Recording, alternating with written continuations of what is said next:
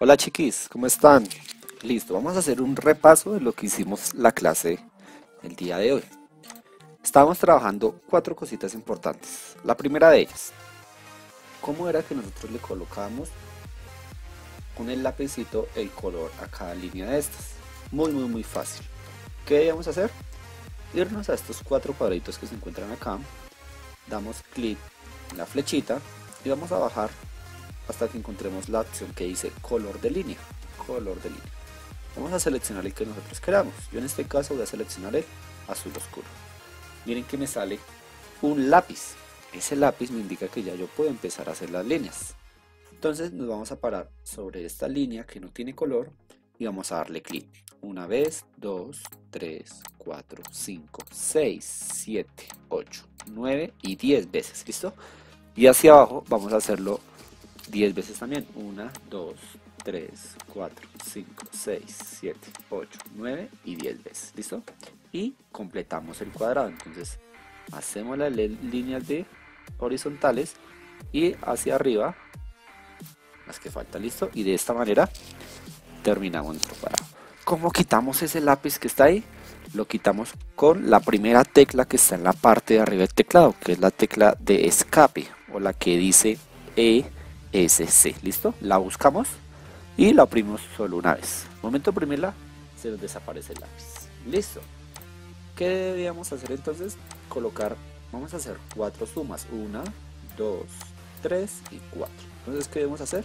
Colocar dos números, esos dos numeritos con los que vamos a sumar. Entonces vamos a sumar, por ejemplo, el 4 y el 3.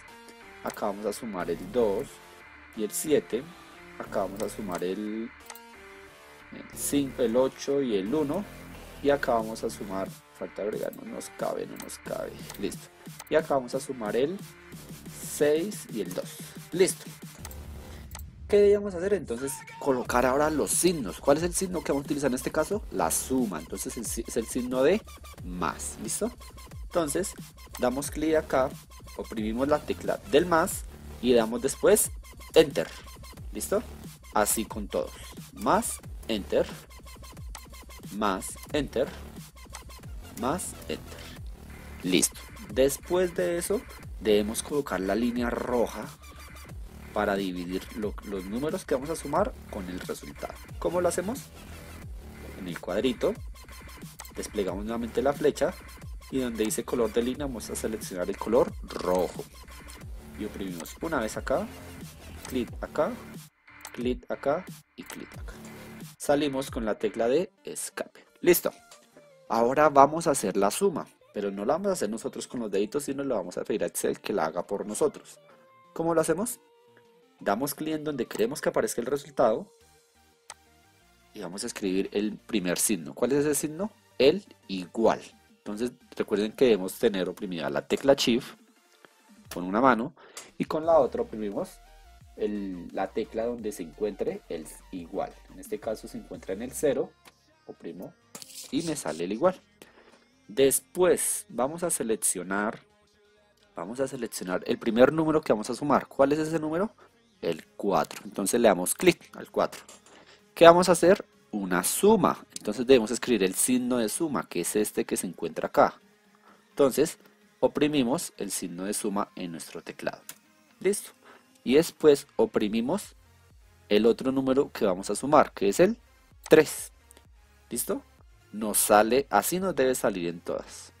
Cuando nos sale esto, lo último que nos falta hacer es dar Enter, la tecla de Enter.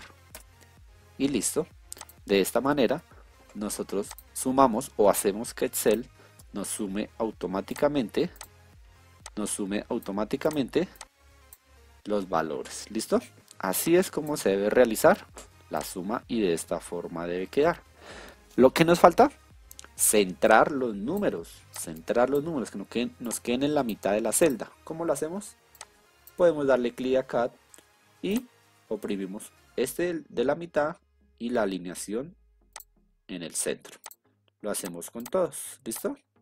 Y de esta manera el número nos queda en la mitad. O podemos seleccionarlos todos al tiempo y oprimimos acá una sola vez y una sola vez y miren que de esta forma nos deja los números en la mitad profe, que cómo hago yo para borrar una línea que me quedó mal. Resulta que me quedó mal estas líneas y yo quiero borrarlas. Muy, muy, muy fácil. ¿Qué vamos a hacer? Vamos a seleccionar, seleccionar lo que queremos borrar, las líneas que queremos borrar, que nos queden así seleccionadas, teniendo clic oprimido y arrastrando el, el mouse.